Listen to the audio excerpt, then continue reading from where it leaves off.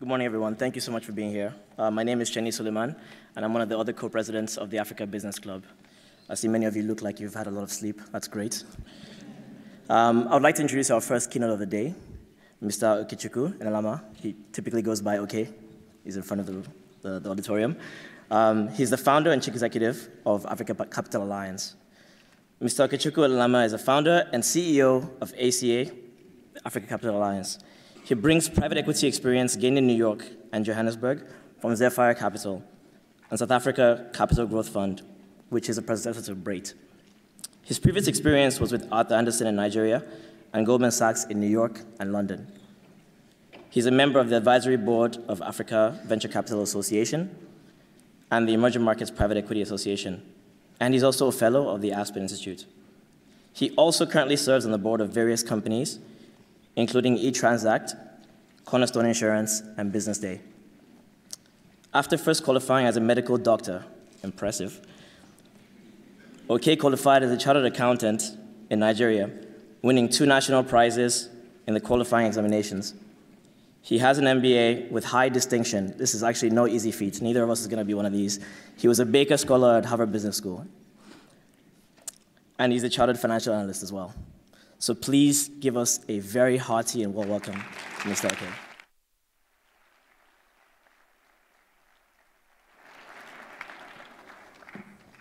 Thank you for having me. Thank you for having me. Thank you so much.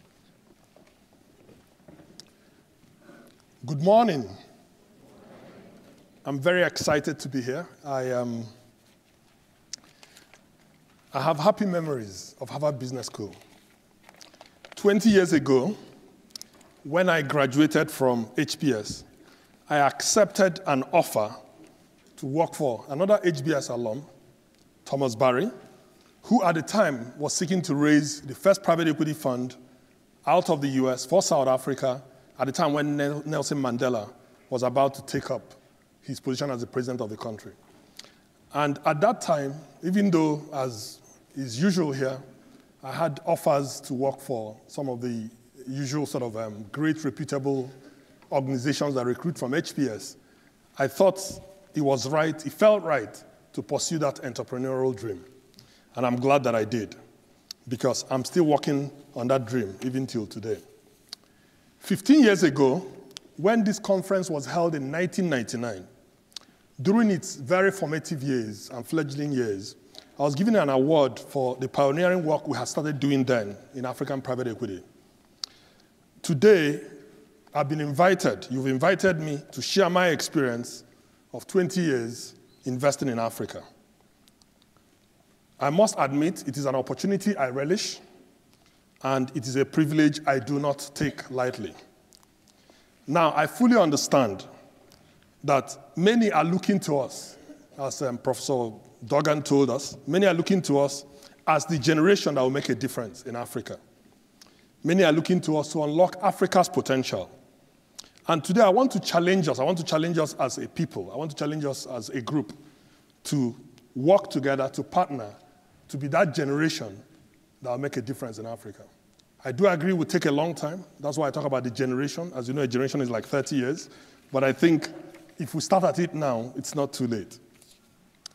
ABC has become a very important and highly credible platform in this quest to build Africa.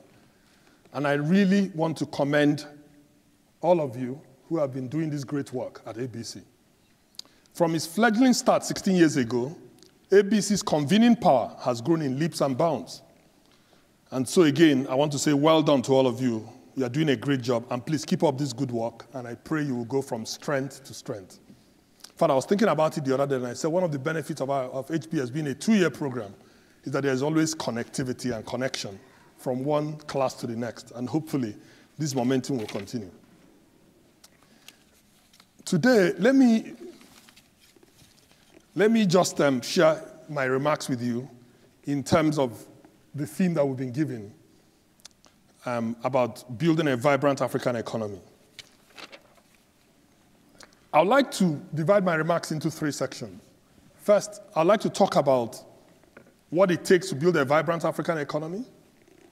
I'd like to share my own experience. One of the things I was told is that, like, um, and I think I'm even more convinced having listened to Catherine, that it's important I share my experience with you, what's and all, the things that have worked for me, and the things that I hope, I hope you learn something from it.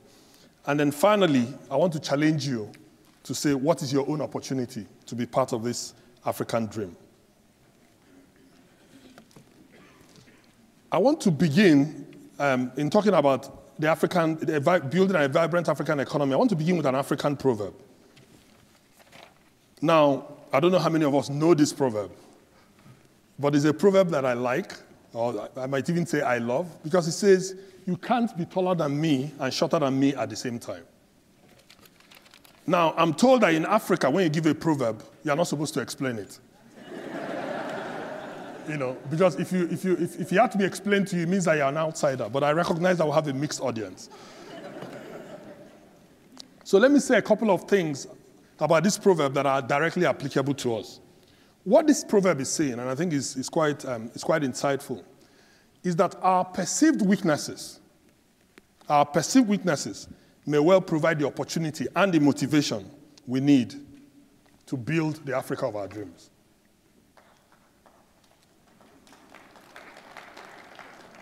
And I want to challenge us to think about that as we go through, as, as I go through my presentation, because I want, to, I want to point out three areas where we are perceived to be weak, but also three areas that potentially may well have the opportunity for the growth that Africa can experience and will experience over this next century. Now, these three things, I have called them three necessary and sufficient conditions. And I, and I use both of those words uh, advisedly. It is my view, based on everything I've learned, my experience on the continent, and even my time at HBS, including the BGIE course, that if we get our human capital development right, get the enabling environment, and integrity and discipline, that I think we can achieve the Africa of our dreams. Now, I'll be the first to admit that this is a big challenge. But I'm also optimistic that this is a, a war we can win. But a war it is. It is a war, you know, to deal with the issues around our human capital development, it is a war to deal with issues around creating the right enabling environment for business to prosper and for people to reach their full potential. It is a war to create an environment where integrity and discipline are the driving values of the society that we seek to build. But I fully believe that it is a winnable war. I believe it is a war we can and should win. Now, let me go on to talk a bit about human capital development, which is one of those three key factors. And I return to ancient China or to a Chinese proverb this time. I'm sure this is something we're all familiar with. I've been told by those who should know that the word danger, or sorry, crisis in China or in Chinese, you know, has um, two sides. It's two sides of the same coin. The same word can mean danger, and the same word can mean opportunity. You know, it's interesting that the Nigerian case is called either opportunity in crisis or certainly opportunity and crisis are mentioned in the same breath. And in a sense, this is, um, this, is, this is very wise because, as Catherine said to us, if you think about the youth, the African youth, what do you make of the African youth? You know, at one level, we are talking about youth unemployment, we are talking about the widening income disparity. Some people have called it a ticking time bomb. You know, I mean, you can think about the Arab Spring, for instance. And yet, properly addressed, this thing could yield all kinds of dividends, as we were told earlier this morning. You know, the so-called population and demographics dividend will come out of the same African youth that we're talking about. So the, a lot depends on what we do with what we have.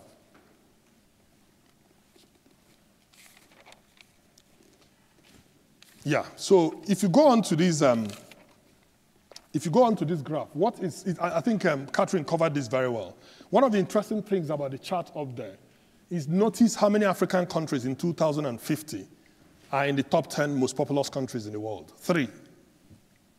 You know, you see Nigeria there, you see Ethiopia, you see DRC.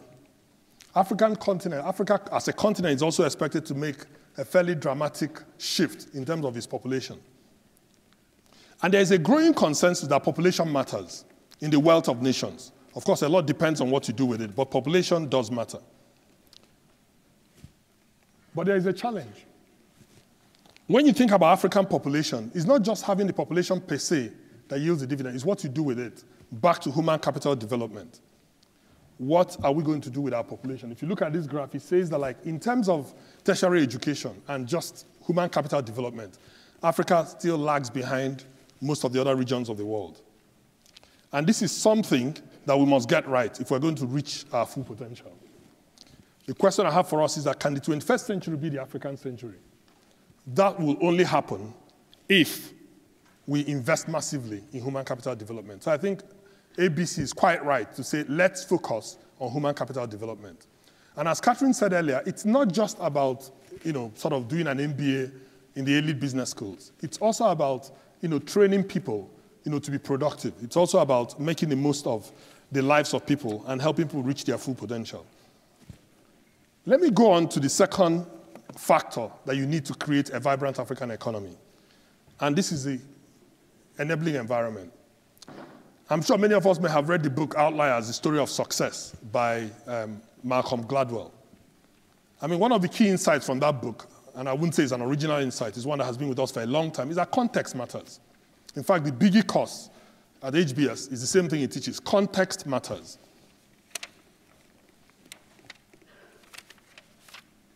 We know from experience, we know from experience that no individual or nation develops in a vacuum.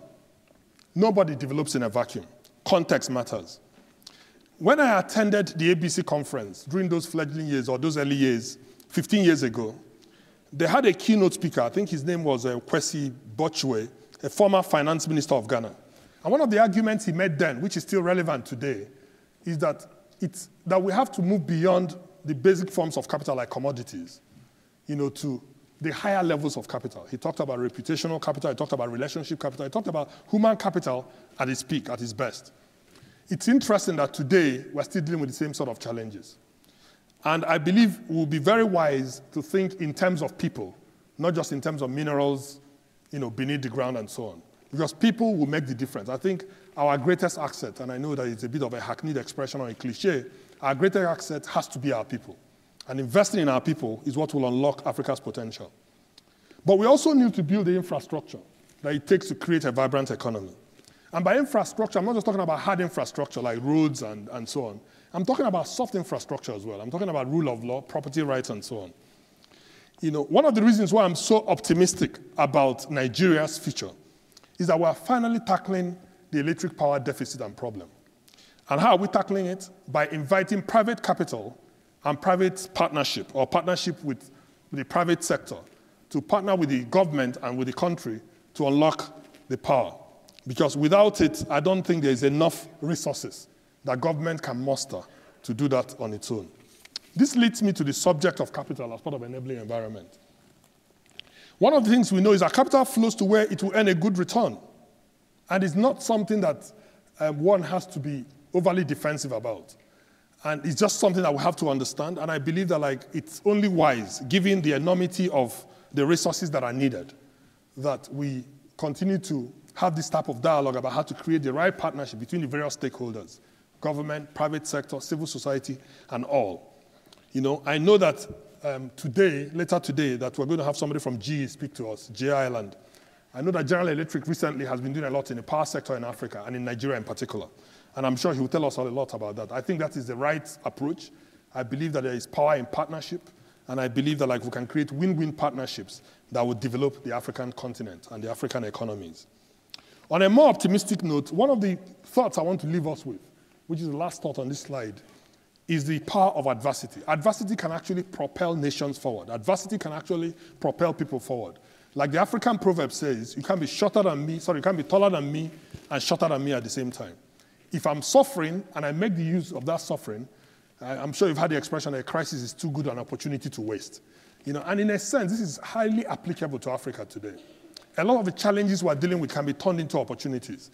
And it all has to do with what do you do with the adversity. And one of the thoughts I want to leave us with is that we can make adversity become a good thing instead of a bad thing if it is, if it is used well. That leads me to the last that leads me to the last um, sort of um, factor that we need to address if we're going to unlock Africa's potential. And that has to do with the whole subject of integrity and discipline. And I talk about integrity and discipline because, in my own experience, and I speak from having been in, working in the continent now for, over, for, over, for about 20 years, You know, if you bring integrity and you bring discipline, you can do well in the long term. As um, you know, Catherine told us, it's extremely important that we think long term. One of the challenges is this short term you know, versus delayed gratification. And I believe that it is wise to delay gratification and stick to one's values. One of the lessons we learned from the Singapore story, if you've read um, Lee Kuan Yew's book, is they took the view very early on that corruption could be a problem if not addressed quietly. They took the view that the system must reward good behavior and punish bad behavior. If there's one thing we've learned through the ages, is that man is self interested. That's where the agency theory of man comes. I mean, in fact, it was one of the courses when I was here. Uh, they used to have this, gen- this man then uh, called uh, Professor Jensen, Michael Jensen. I don't know if he's still here. I'm sure that he's probably gone. But I will tell you that one of the key points he tried to make then, which Adam Smith made maybe a century before him, is that like man is self-interested, and we have to create systems that reward people for doing what is right, not systems that appeal to people to do it for irrational reasons, because man ultimately is somewhat rational. And the other thing I want to talk about is the subject of discipline, because there's a lot of talk about strategies. Uh, we have all these discussions going on, not just here, but all over the world. But I think ultimately, people care about what you do, not what you say you will do. And I think really what it means is that we must walk the talk if we're going to, if we're going to make the most of, our, of the opportunity we have. Let me use a case study to end this section before I, I share my experience with you. And I use this case study, which is on Union Bank, because it's, a, it's, a, it's, a, it's an investment we made recently. Union Bank, in many respects, is a microcosm of what can go wrong and how you fix it. Be it for a nation, even though it's a bank, but I think it has a lot of parallels with a lot of the issues we've dealt with in, in Africa. You know, Union Bank was started about 100 years ago by, I mean, by Barclays Bank, or a predecessor to Barclays Bank. And at, for many years, it was, it was one of the top two banks in Nigeria. And then a number of things happened. First, during the indigenization program in the 70s, Barclays was kicked out. In effect, there was a, a feeling that we could go it alone. We didn't need help. And Barclays left. One of the things that followed was they stopped investing in people. The investment that was needed to develop the human capital of the bank suffered a lot. And then agency problem kicked in. Self interest was put above everything else. People tried to defend their own narrow self interest rather than the broader and greater good of everybody. And what was the consequence? The bank lost competitiveness and had a hole of over 300 billion or 2 billion dollars in its shareholder funds. And in fact, the opportunity came for us to invest when the central bank intervened.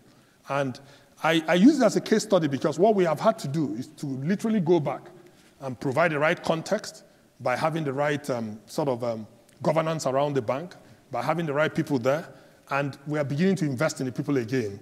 And of course, you know, creating a system of checks and balances. And I believe that Union Bank will come back um, from, from, from its um, lost glory because the investment is being made to achieve that. That is a good segue. That's a good opportunity for me to then share my experience with you.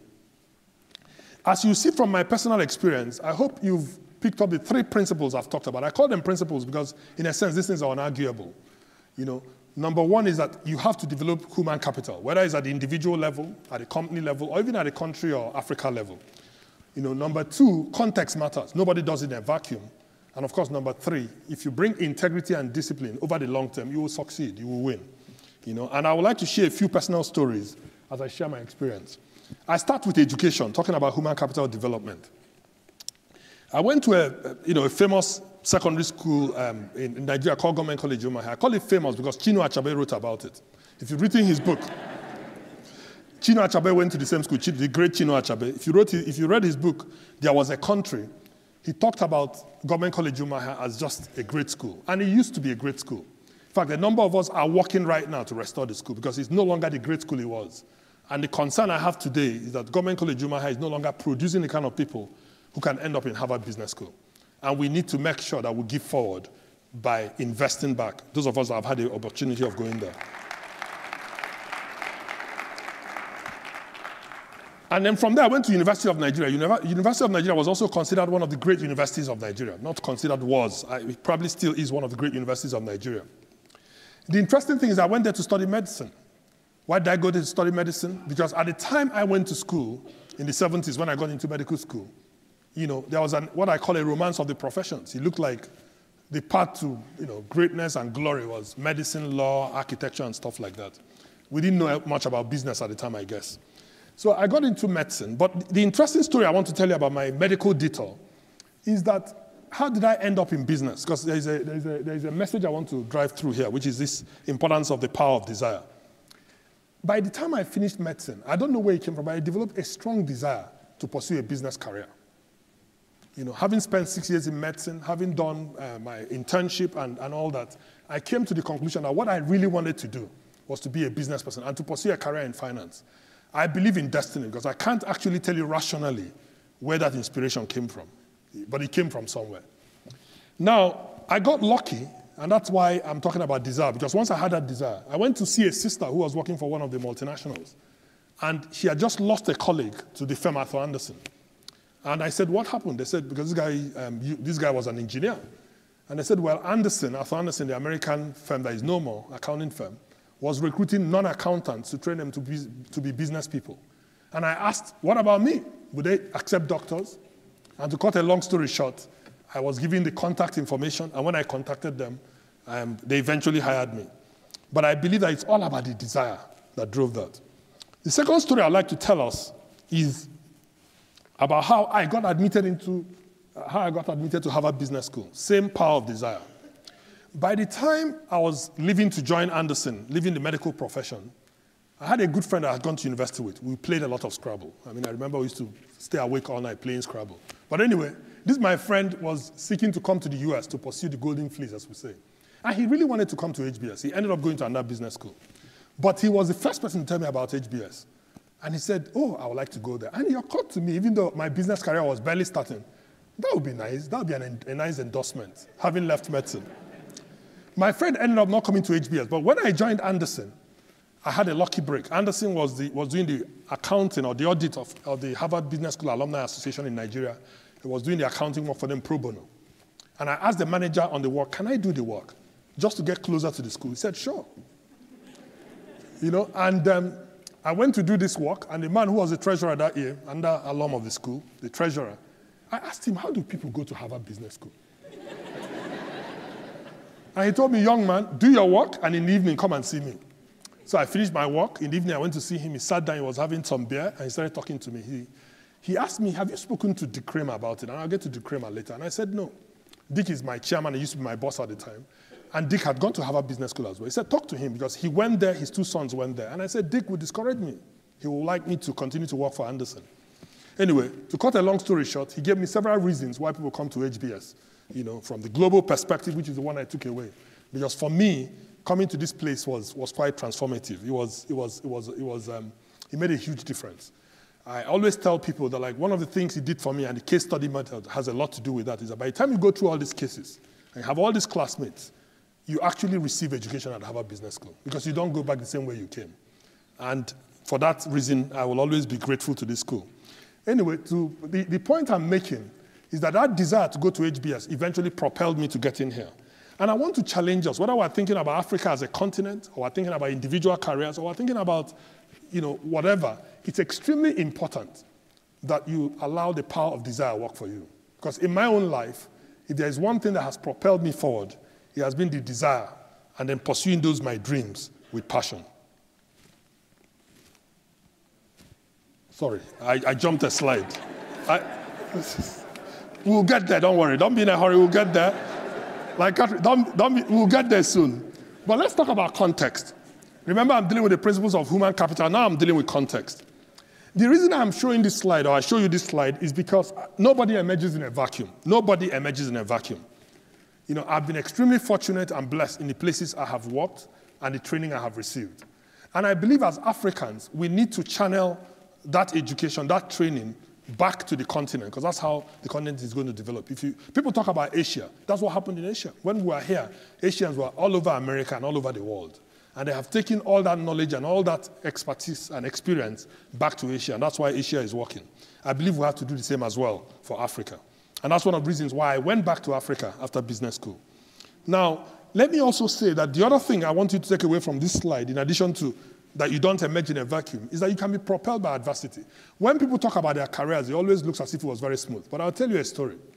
Having graduated, you know, with top honors from HBS, I, and I, like I told you, I had all kinds of offers. One of the things he did for me was that in negotiating with Tom Barry, for the dean at the time, even assisted me in, in those negotiations. But in negotiating with this, my boss at the time, you know, I got what looked like a good deal. I mean, I, I, was, I was made a promise that if we raise the fund, you know, I'll become part of the general partners of the firm, right? I'll become one of the junior partners of the firm. Unfortunately, we raised the money. I got to South Africa as a young guy who had never done private equity, I'd done accounting. Remember, I was a doctor. So, you know, still inexperienced in business, apart from maybe the MBA education I had received. And my colleagues there just said, How did you end up being a junior partner in a firm one year out of business school? Because it took us about a year to raise the money. And what that meant was like, I came under a lot of scrutiny. I came under a lot of scrutiny in terms, and, and I was learning. I was going through the apprenticeship, I was learning. But they kept reminding me about, you know, how little I knew. And that adversity was actually what led to the start of African Capital Alliance. Because at a stage, I asked myself, really, you know, wouldn't it be nice after having done this for a few years, rather than sitting here and coasting along, to actually take it back home and go further north and do it in Nigeria and the rest of Africa, sub-Saharan Africa. And that's actually part of my story on how African Capital Alliance started. Why do I tell you this story? You can be propelled by adversity. My colleagues from South Africa today are some of my best friends. We're still very good colleagues.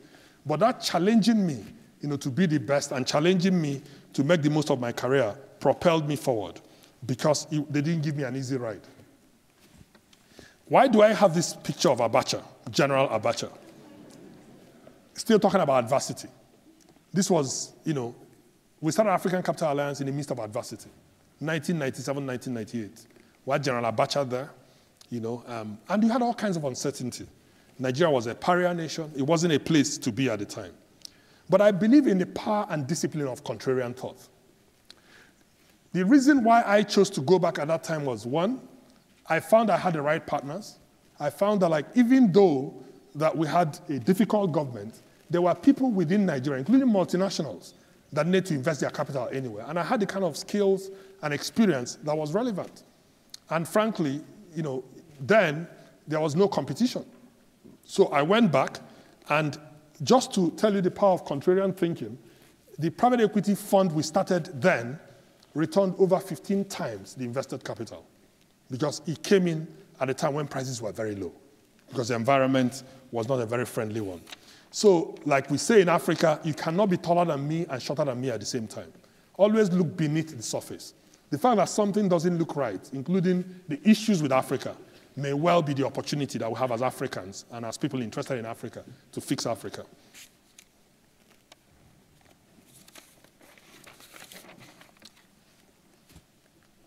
Sorry. Now, I, I mean, these are just further illustrations of what ACA has achieved. If you look at this slide, it talks about you know, just the, the, the, the, value investing. And the reason I wanted to talk a bit about value investing is that contrarian thinking and value investing go hand in hand. I'm sure, there are, I'm sure there are some of us here who believe in value investing. It's something we believe in deeply. I believe in it deeply, and, I be, and we believe in it as a firm. You know, and it makes the case for depth versus breadth. In other words, for you to be a good value investor, you have to understand what you're investing in. You know, for you to know the value of something, you have to know it enough to know what it's worth. You know, the same thing applies. I remember when I was at HBS and we had Warren Buffett come speak to us. One of the points he made to us, he said, look around your classmates. If there were securities, there were stocks, which of them would you buy? And he was trying to train us to think about people as investments. Because we invest in people. People are the greatest asset you can invest in. You know, and in a sense, he was challenging us to take time to understand people, to take time to invest and to trust people. You know, and the same thing applies to businesses. You know, the other cornerstone of value investing, as you know, is margin of safety principle. What does this mean? It means that like when you understand something enough, you know not to drive too close to the edge. And it's one of the things you have to do. And it's one of the things that helps us when you're operating in a difficult environment to still do the investments we do and to still do it well. And then the other thing I have there is about being on the ground. And I will end on this note when I finish. It's extremely important to be close enough to the opportunity. A lot of people talk about Africa, but one of the interesting signs why I'm optimistic about Africa is that people actually, when I, when I lived in the US, I mean, many years ago when I was in business school and so on, people talked about it, but nobody was prepared to go home. They just wanted to talk about it. but that has changed. I mean, there is a real interest in returning to Africa. And trust me, that is a very, very good sign. That is why I'm confident that the people in this room, many of whom are interested in coming back, will be the ones that will build Africa of our dreams. Yesterday, when I was coming to register, I rode in a cab with you know, um, an American lady who maybe was living somewhere in the DC area who told me she's moving to Lagos in July. I was stunned.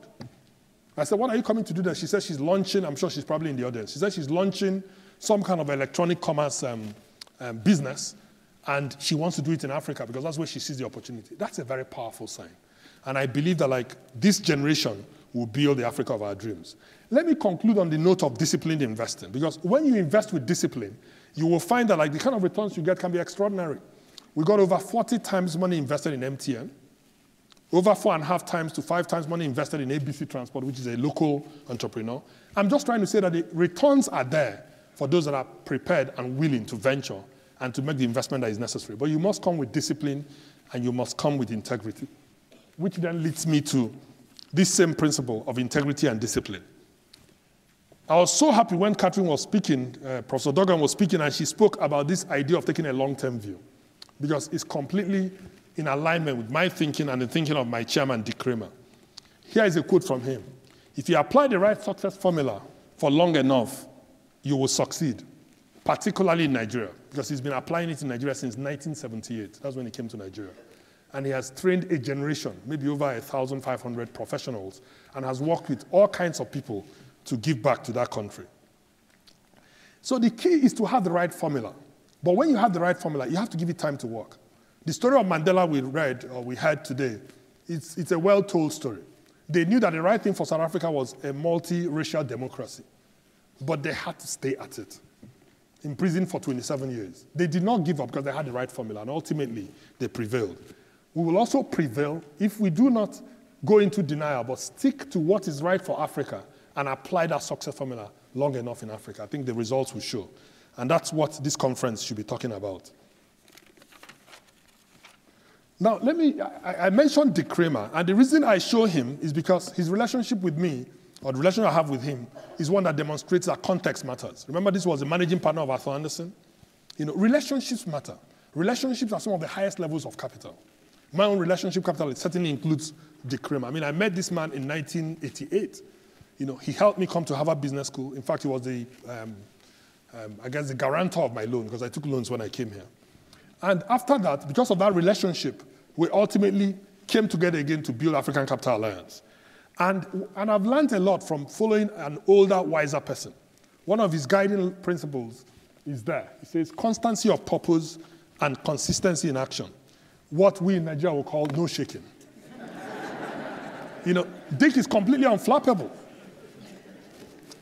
You know, he's one of the most resilient people I've met. In fact, if I wanted to quote uh, Nassim Taleb, I would say he's anti-fragile you know, which means he's, he waxes stronger with time and with difficulty. I want to challenge us to be the kind of people that, that, um, that can be described that way no shaking. You know, don't get rattled easily. Remember that adversity can propel you forward. You know, if you have the staying power, there is nothing that you confront you can't deal with. You cannot be taller than me and shorter than me at the same time. A crisis is too good an opportunity to waste. You have to make the most of the things that life will throw at you.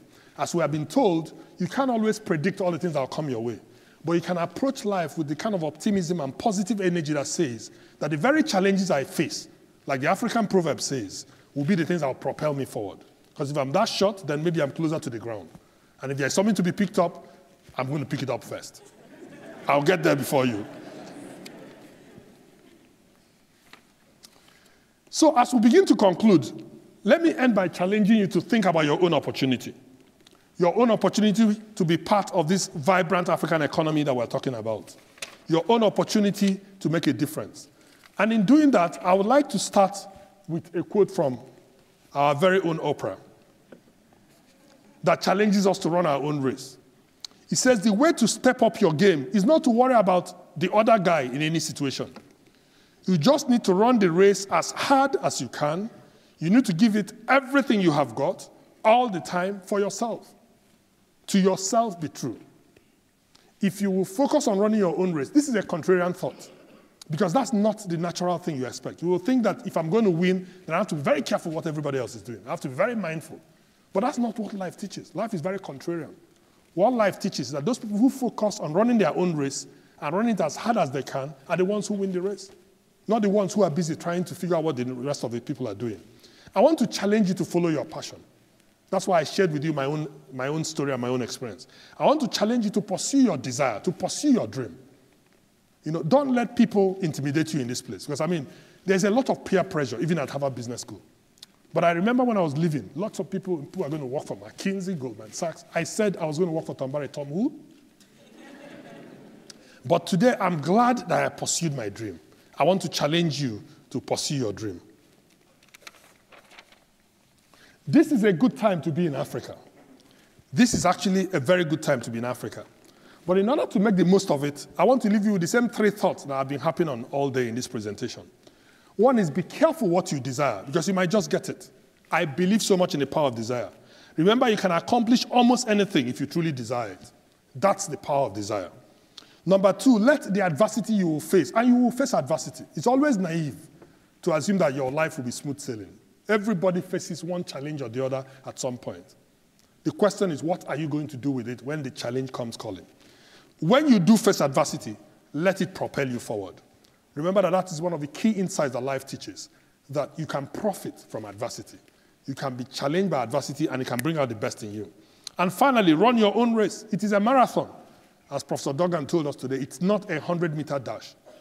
You know, like Mandela, choose your own long walk to freedom or to liberty or to wealth or to your dream.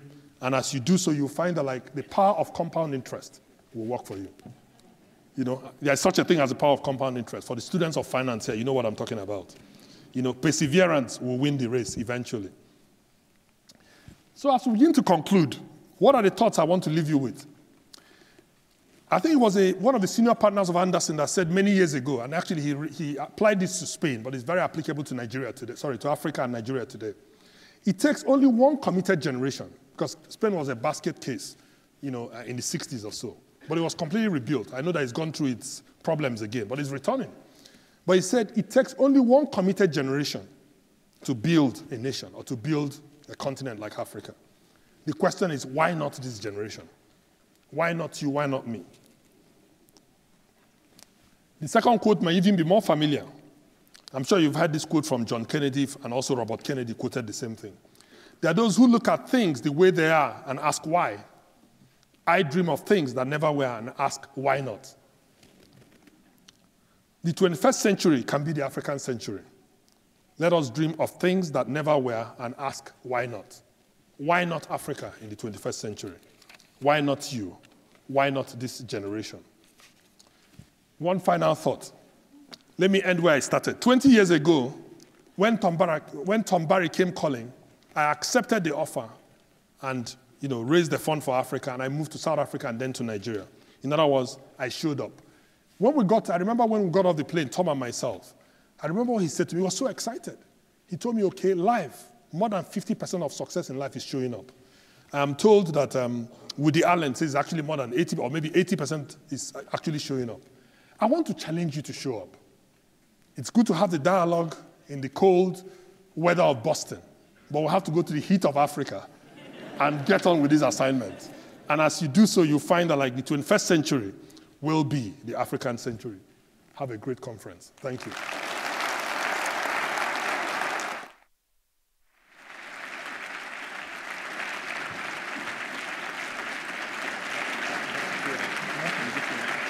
absolutely.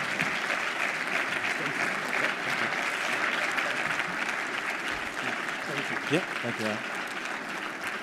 All right, everyone. So at this time, we're actually going to switch over to the Q&A um, session. That was a, a great discussion. Um, so we're going to keep the flow going. Um, please note that we have two microphones on both sides, so we ask that you line up, and we're calling you one-on-one. -on -one. And for those who heard me yesterday, you know we have three ground rules uh, for, for questions. One, your question must be in question format.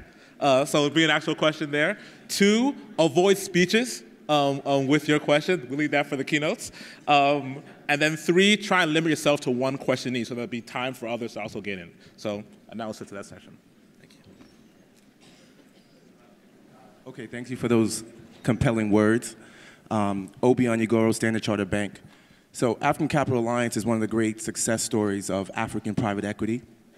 Um, and what you did was impressive. So my question is, African Capital Alliance is a Nigeria-based, sub-Saharan Africa-focused investment firm. So what is the long-term vision for your firm, and how do you plan on achieving it? And second part of that question is, you mentioned Dick Kramer is one of your mentors, so how do you participate in mentoring others, um, aside from me always harassing you by email?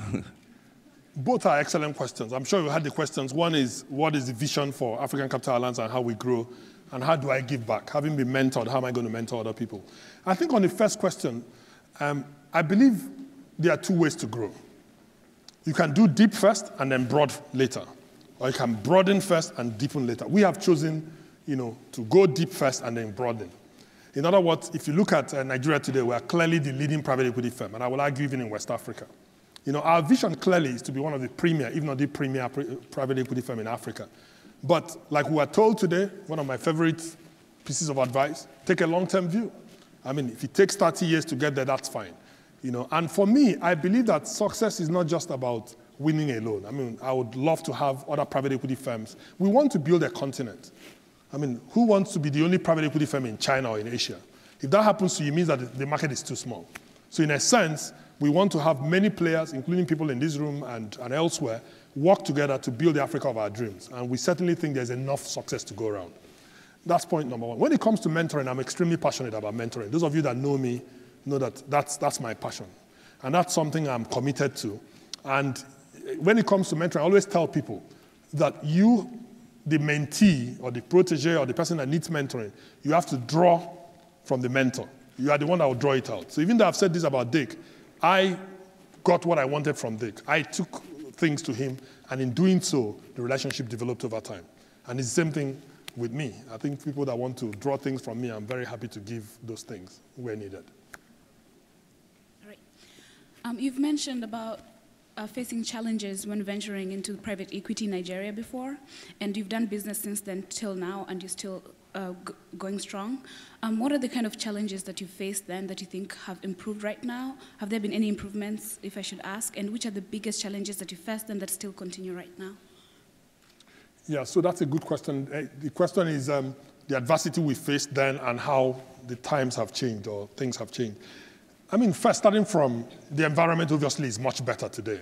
And in many respects, one of the key, shall I say, messages I hope I left is one of the benefits of contrarian thinking is that like when things look the hardest, that may be the darkest hour before the dawn, right? So in going in at that time, you know, um, General Abacha, as you know, I didn't say so, but died soon after that. He died in, in the middle of 1998, and the market opened up, and we actually benefited from that market. And so the challenge one faces every day when you're operating in the kind of environments we're operating is that would you stick to your values? Will you live up to what you believe in? You know, for instance, I'm, I mean, both as a firm and as an individual, ethics matters to us. We're very keen to pursue integrity, you know, to live a life of discipline. And you may face challenges, uh, and when you face those challenges, you have to stick to what you believe in, even if it means taking a, long a longer term view to life. Secondly, you know, you operate in an environment where implementation can be difficult. And therefore, the issue of discipline, the issue of being able to actually get things done. When I was coming back to Nigeria, people used to tease me and say, well, Harvard MBA doesn't apply here. In other words, you know, you, all this education is not relevant. I mean, this is, this is difficult, but that's actually not true. The principles that are taught in this place are relevant because you have to be willing to stick it out, and it's all about staying power. And my sense is that if you do that, you find that you will win. But the environment is getting better. There's every reason for optimism. There's every reason to believe that you and I can build the Africa of our dreams. Thank you. Shani Suleiman, Harvard Business School. Uh, my question is around, I think, a question that's top of mind for me and I think many others. So I'm going back to Nigeria as well, and I think I'll be thrown into a position where I'm making decisions that um, I could be swayed in different directions. Uh, so when many of us live here, we feel like we're principled in some ways. When we go back home, people tell you you're being too upright. And so in your, can you share some of your experiences around how do you navigate the system of corruption as you do business, and what are some of the ways you can avoid that? Great question around how do you navigate the environment in terms of uprightness, probity, integrity, and so on. when people say you don't understand, you think they don't understand. So who is wrong? Who's right and who is wrong? What I would say is that um, there are a couple of ideas that I learned from here, just to give you an example that I think are directly relevant to that question. One of the great courses here talks about the principle of strategic alignment. In other words, when you are doing things, they should be internally consistent. They should, be, they should pull in the same direction. The company you keep, the kind of work you take on, you know, the, the, the you know, the kind of choices you make. There's no point wanting to be upright, and then the guy you're working with is the most is the opposite of upright. Maybe the you know the, the, the, the wrong choice for, for, for uprightness, right? you know what I mean? Now, it's very important that like you choose, you have to be highly selective. You should be selective in who you work for. You should be selective in who your friends are. You have the power of choice, exercise it. You know, you choose what to do. Now, when you do that, you find that there's a growing community of people that want to do the right thing. In fact, in my business, where we are uh, attracting capital from the international community, the so-called LPs, as you know, they're all over the world. You know, one of the reasons why they give us capital is because they know that our ethics and our probity is fine. So that becomes a competitive advantage. You can't be taller than me and shorter than me at the same time. I keep going back to that.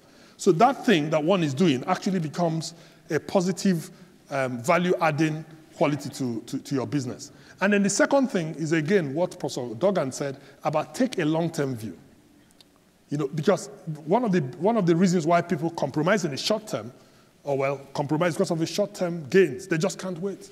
Patience can be rewarding. And I think if you will be patient and you take a long-term view and you are aligned in terms of the choices you make, I think you'll find that like you do just fine. I think so.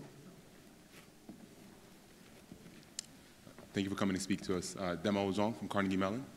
Uh, so when people talk about private equity in Africa, they often talk about the difficulty in exits. You obviously, had success in that. Could you talk about uh, some of the things that you guys have done and also just private equity in general has changed over the past 15, 20 years in Africa? That's difficulty of exits and, and the challenges. I think that's true in the sense that one shouldn't assume that exits will be easy in a market, in, in markets where capital markets and financing um, is not readily or easily available. But having said that, because of a challenging environment, when you build great businesses, you know, they sell at a premium. That's also why people are concerned our prices over, overpriced or assets overpriced because you know, when you have great businesses in Africa, you actually command a premium. Great people in Africa command a premium. You know, so even as individuals, by living your life right, you will command a premium because people are looking, you know, because of the demand for such businesses or such people. And that's something to take to heart. Obviously, without getting technical, before we go into the businesses, we do structure our exits going in, right? So we structure exits from multiple options. Nobody goes into a private equity investment in Africa, or indeed anywhere in the world, without planning how he gets out. I think it goes with the trade. And part of that process has to do with you know, documenting it right, but also, like I said, building great businesses and then being um, sort of responsive to the opportunity when it comes. Because markets go through cycles. In our own, we've exited more than 15 investments of the 30 investments we've made in our 16-year career. And um, they've come whenever we've had opportunity, we've used it. And I think you'll find that like people do eventually get by. And this principle applies to all of life as well. If you take a long-term view, you will get opportunities to do what you want to do. Mm-hmm. One more. Okay, we'll take one more, I'm told. I'm sorry. Yeah. Thank you very much for speaking with us. It was a great uh, insight that you shared. I have a very concrete question.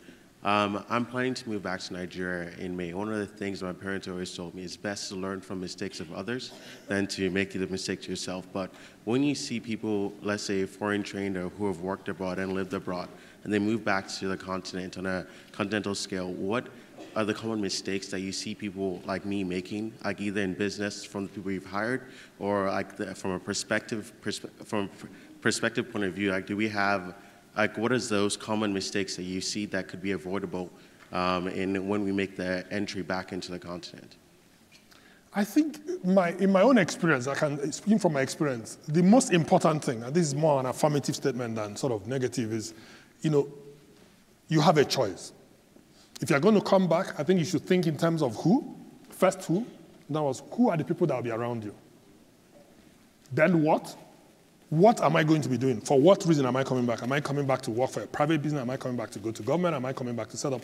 First who, then what? Then think in terms of how and when. You know, how am I going to go about it? Don't be naive. One of the mistakes people make is just being naive. I mean, in those days, we used to talk about what they call, what we call a messianic complex. Let me go and fix Africa. I mean, it's not that easy to fix, you know. So I think one has to be modest in your ambition, but you know, take a long-term view, as we are told. I think if you think in terms of who, you know, first who, then what, and then you think of how and when, timing. Timing is important. As you know, some people say 90% of wisdom is timing. It might be good to go back, but you have to time it right. I think if you do those things and you have to stay in power, I think you'll be okay. It's very important, you know, to surround yourself with the right, you know, just be in the right network. Be in the right network. That's why I think the who question, for me, is the most important one. Because the person that hangs out with wise people will be wise. I'm sure you've had that expression before. Yes, definitely. Thank you. Definitely. Thank you.